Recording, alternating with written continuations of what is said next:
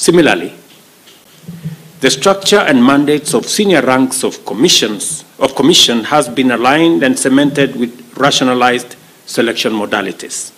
Additionally, the AU's commission organs and specialized agencies have also been restructured.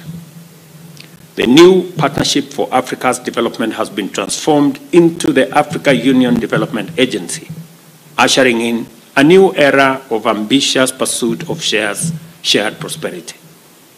Likewise, 42 out of the 55 institutions have been analyzed and reviewed, while the structure of the Commission has been fully reviewed and approved by the Executive Council. As Mohammed, as Musa Faki, sorry, has told us, there is some work to be done by other institutions to make sure that what has been agreed upon is progressed to conclusion. A new AU for a new era is beginning to take shape. And the next phase of reforms, which I am privileged to lead, will complete this exemplary work.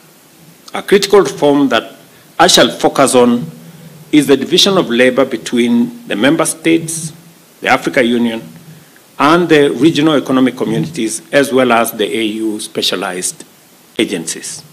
Particularly, there are functional overlaps that urgently need resolution to enhance our union's operational efficiency. Economists have predicted another year of slow growth in the world in 2024, meaning that budget constraints will continue to limit our capacity to execute the AU Agenda 2063. There will be no resources to waste, and greater efficiency is imperative. We cannot afford to spread our meager resources too thin across institutions that perform overlapping functions. As I said during the IDA 21 Replenishment Summit in Nairobi, as African heads of state and government, we are strongly committed to reforming the Africa Union Commission to make it fit for purpose and to empower it with the capacity to engage the rest of the world on behalf of the 1.4 billion people in this continent. At the same time, it is time for us to reform the Pan-African Parliament to enable it exercise oversight over the AU Commission to make it much more accountable and to finally establish, to finally establish an African Court of Justice. Let me, let me put this in context. I have had occasion to have a conversation with uh, Dr. Kaberuka on AU financing. I have had occasion to engage with Professor Moukoko on this reform process.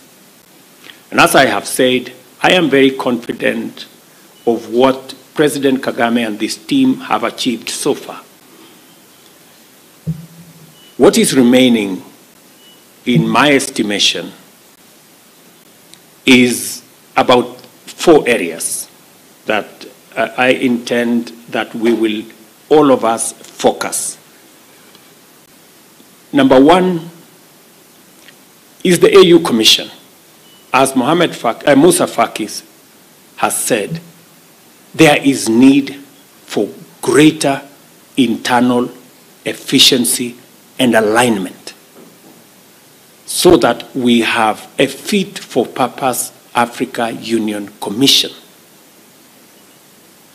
that delivers on its mandate without blockades, roadblocks, and unnecessary bureaucracy that is limiting its ability to deliver at the moment and to align it with the other institutions so that we do not end up with a dysfunctional commission.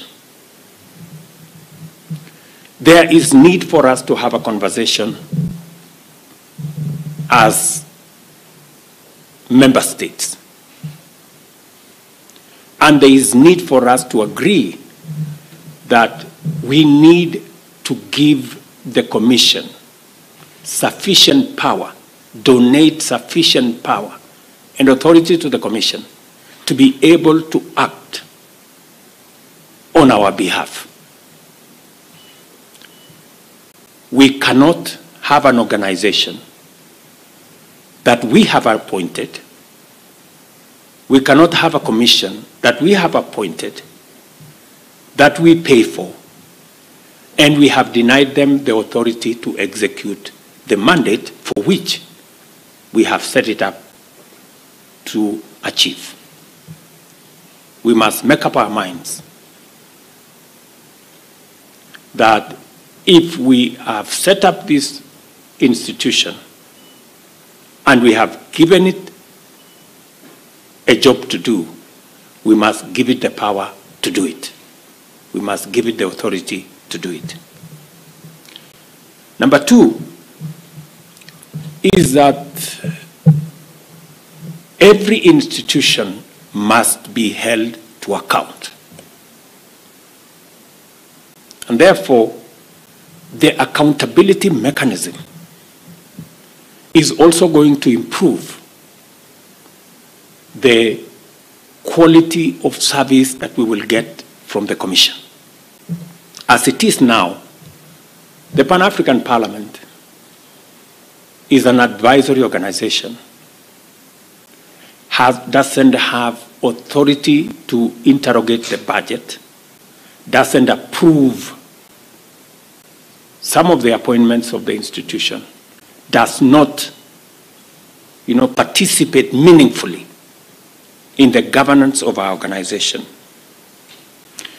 And we need to interrogate whether the 275 members is not too big an organization for us to fund, and whether we should rationalize the size of the Pan African Parliament and give it sufficient work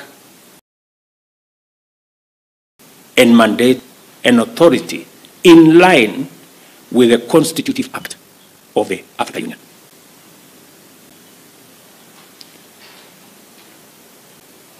Like all democratic institutions, for example, in Kenya today, there's a big debate in parliament